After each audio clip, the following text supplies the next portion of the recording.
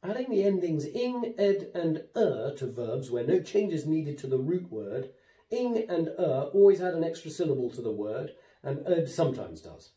The past tense of some verbs may sound as if it ends in d, extra syllable, or d or t, no extra syllable, but all these endings are spelt ed.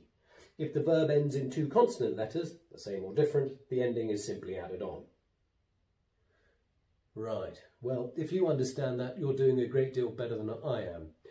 My name is James Fletcher and I've been teaching English for nearly 25 years and I'm hoping through the YouTube channel Learning for Legends to bring you this subsection Spelling for Legends of which I'm hoping to help out your children at home uh, who may age between 7 and 13 and I'm going to take words that the national curriculum use here in, in England and also take words from an old traditional uh, spelling list, Schonell's spelling list.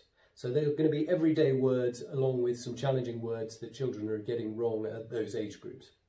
My intention is to, through one video, to give the words to your children, uh, to very quickly point out a few patterns that the words might have, and then in the second video to give them a test of which I'll put that word into the context of a sentence, which is absolutely vital.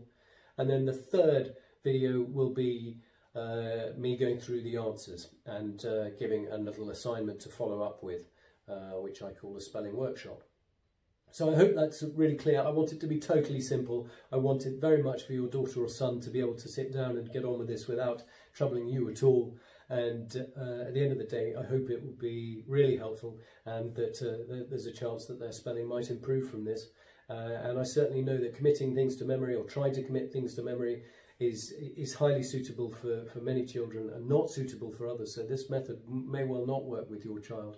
Uh, and perhaps uh, colourful publications that you can get online or, or, or, from shops will be more helpful. But uh, I certainly feel that this method uh, will, will help the majority of children and I, I, do hope that that is the case. Thanks very much for listening and uh, I hope you all spell well. Take care. Bye-bye.